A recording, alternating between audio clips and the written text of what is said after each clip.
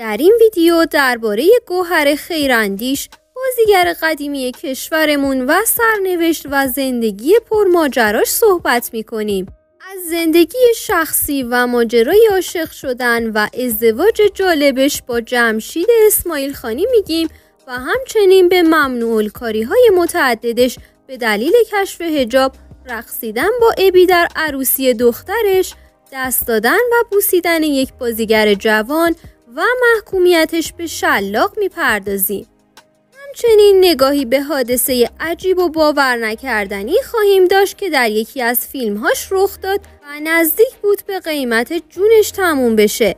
تا پایان این ویدیو با ما همراه باشید تا بیشتر درباره این بازیگر و زندگی پرهاشیش صحبت کنیم.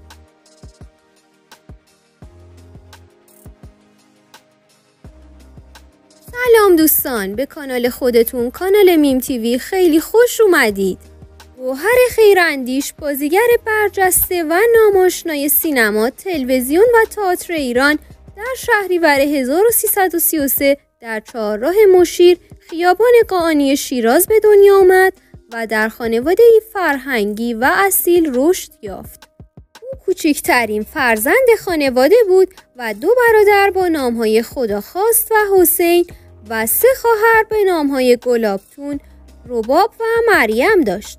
پدرش کشاورز اهل شهر اقلید شیراز بود و مادرش به عنوان ماما در بیمارستان مسیحیان شیراز کار می‌کرد. علاقه گوهر به هنر از سنین پایین شکل گرفت و در 13 سالگی برای اولین بار در نمایش عروس به کارگردانی جمشید اسماعیل خانی در تالار ابوریحان شیراز روی صحنه رفت او این تجربهش رو مدیون انتخاب جمشید اسماعیل خانی به عنوان کارگردان نمایش در دبیرستان خود بود. دو سال بعد در سن 18 سالگی با جمشید اسماعیل خانی که چهار سال از اون بزرگتر بود ازدواج کرد. این ازدواج در حالی صورت گرفت که پدر گوهر مخالف و مادرش موافق بود. به دلیل قوانین مدرسه و مشکلاتی که این ازدواج برای تحصیلش ایجاد می کرد، عقد اونها به صورت رسمی در شناسنامه قید نشد تا زمانی که گوهر دیپلم خود را دریافت کرد. حاصل این ازدواج یک پسر به نام امید و دو دختر به نامهای آزاده و آناهیتاست. گوهر خیراندیش پس از ازدواج به استخدام اداره فرهنگ و هنر شیراز در اومد و همزمان با فعالیت های تئاتری مسیر حرفه‌ای خودش رو دنبال کرد. در سال 1357 پس از قبولی در دانشگاه تهران به همراه همسرش به تهران نقل مکان کرد و به تحصیلات خود در رشته بازیگری و کارگردانی ادامه داد و در سال 1369 موفق به اخذ مدرک لیسانس از دانشگاه تهران شد. همچنین در سال 1379 دکترای افتخاری از وزارت فرهنگ و ارشاد اسلامی دریافت کرد. فعالیت حرفه‌ای گوهر در عرصه بازیگری پس از انقلاب با نمایش دیکته و زاویه در سال 1358 در تهران ادامه یافت و در سال 1364 با سری اول سریال آینه وارد قاب تلویزیون شد. او اولین تجربه سینمایی خودش رو در سال 1365 با فیلم روزهای انتظار به دست آورد. گوهر خیراندیش در طول دوران حرفه ایش با ایفای نقش های متنوع و به یاد ماندنی در سینما و تلویزیون به یکی از چهره های محبوب و تاثیرگذار هنر ایران تبدیل شد. در سال 1377 با نقش آفرینی در فیلم بانو به کارگردانی داریوش مهرجویی و تحمل یکی از سنگین ترین گیریم های کاری خود توجه بسیاری از منتقدان را به خودش جلب کرد. این نقش به نقطه عطفی در کارنامه هنری اون تبدیل شد و او رو به یکی از پرطرفدارترین بازیگران سینمای ایران تبدیل کرد. خیراندیش علاوه بر بازیگری در سینما و تلویزیون تجربه فعالیت در رادیو و دوبله رو هم داره. او مدتی در برنامه صدای عبرت شبکه سراسری رادیو فعالیت داشت و همچنین تجربه دوبله کردن بسیاری از کاراکترها از جمله در سریال کلاه پهلوی رو به دست آورد. او در کنار اساتید برجسته دوبله ایران مانند منوچهر اسماعیلی و ناصر تحماس فعالیت کرده و حتی در برخی از آثار به جای خودش هم صحبت کرده. در سال 1378 گوهر خیراندیش به دلیل بوسیدن یک پسر جوان در مراسم اختتامیه جشنواره سینما حقیقت در شهر یزد به 74 ضرب شلاق محکوم شد. این واقعه پس از اون اتفاق افتاد که نیروهای حزب اللهی مراسم رو به هم ریختن و خیراندیش ناچار شد که یزد رو مخفیانه ترک کنه. چند این حکم به دلیل اظهار ندامت او تعلیق شد اما خود خیراندیش این ادعا رو تکذیب کرد و اعلام کرد که عمل خود را مادرانه دانسته و هیچ ندامتی از اون نداره. دو سال پس از این واقعه گوهر خیراندیش برای بار دیگه با حاشیه مواجه شد. این بار به دلیل دست دادن با محمد رضا شریفی نیا بازیگر سینما در جشن خانه سینما که منجر به ممنوع تصویری او شد. البته که گوهر خیراندیش از این هواشی این مدلی کم نداشته ماجرای عکس صمیمانه‌ای که با مهران مدیری در پشت صحنه فیلم هیولا داشت و همینطور بوسیدن دست علی نصریان در تولد اخیرش و رقصیدن با ابی در عروسی دخترش چند تا از این موارد پرهاشیه هستند.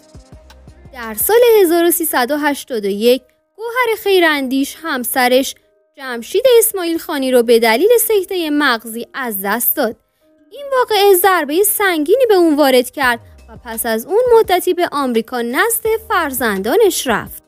او از آن زمان به بعد بین ایران و آمریکا در رفت آمد بود و در چند دانشگاه معتبر آمریکا کارگاه های آموزشی در زمینه بازیگری برگزار کرد.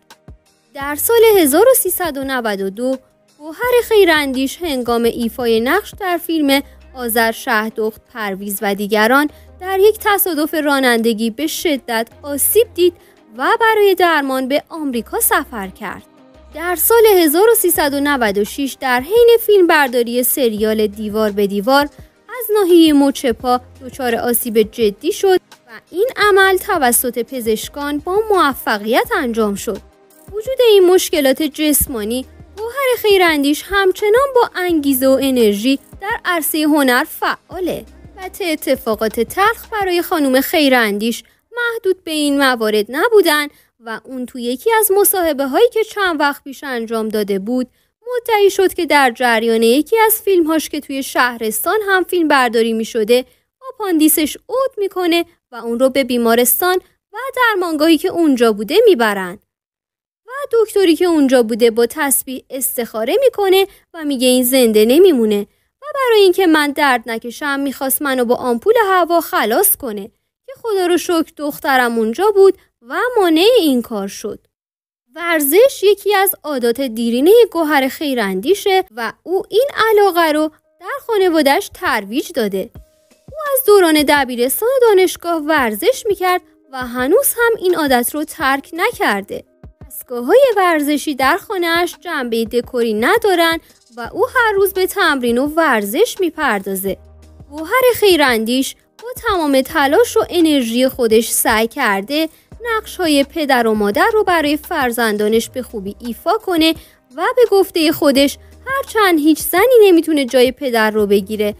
اما او تمام تلاش خودش رو کرده تا بتونه نبوده پدر رو برای فرزندانش جبران کنه و زندگیشون رو به بهترین شکل ممکن پیش ببره. اما در کنار تمام موفقیت ها و افتخارات حرفه‌ای گوهر خیراندیش با حاشیه های مختلفی نیز روبرو بوده.